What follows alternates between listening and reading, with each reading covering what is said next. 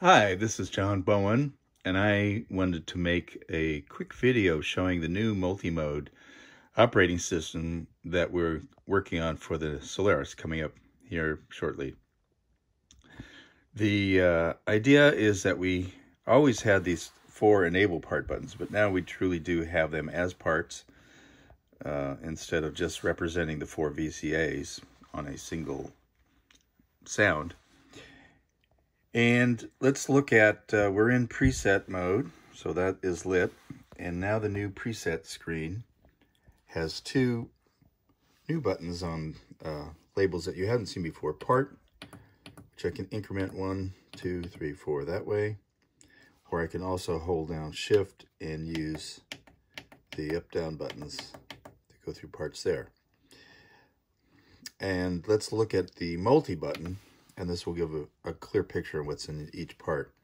So the original preset was just this sound, which is that sound. And the other three parts are now just loaded with init sounds. And so what we'll do is we'll show you how to build uh, out of the old preset a new preset, that it's a multi-preset. First thing you want to see is that the part's enabled. It has a voice assignment, volume, velocity, and uh, keyboard windowing or zoning. And then the second page, the channel it's on, transposition, fine-tuning, panning, and ARP enable. And we'll, uh, I expect, have a, another page or two for other parameters. So let's get back here. And what we need to do is think about the voice allocation. So the Solaris comes with 10 voices, uh, five DSPs producing two voices each. So all the voice assignment has to be done per DSP. In other words, two voices at a time. So for this sound, I'm going to assign four voices. So we'll have... And then we're going to go to the next part, part two, and I'm going to go to the part load button. And here I can dial up different banks and different presets this way. So let's go here and let's load in this one. And uh, to do that, I'll go over to see that the enter button is flashing. So press that. And now go back here and we have to enable it and assign a number of voices. I'll do four voices for that. And now...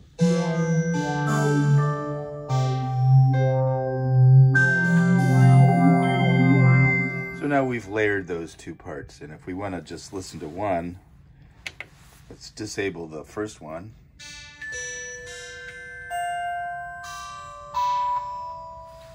And of course you can set the zones and so forth. We could say we want this sound to appear above G3. So, so below there, it's just the first sound, and above there, the sounds are layered.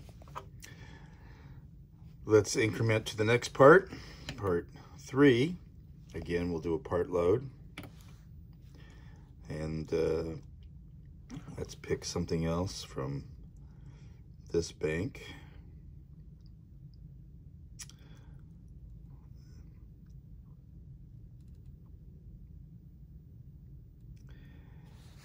Press enter. Go back to multi and again we have to enable it and assign what voices are remaining out of the pool. So it's a 10 voice pool. We used four on the first part, four on the second part. So we have two left.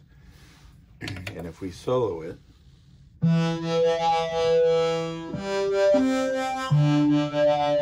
have that. we put all three on.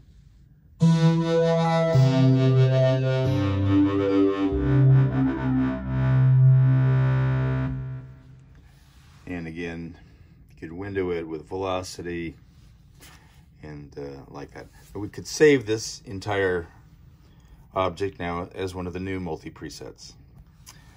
Also, you'll notice that the current part indicates what is active on the front panel. So as I switch to the parts, you'll see the sections change appropriately. So if you want to edit any of the sounds, uh, you can just edit them when you display the part and then save that as a new multi preset. So that's it. I hope you got information that you were interested in and we'll see you next time. Thanks for watching.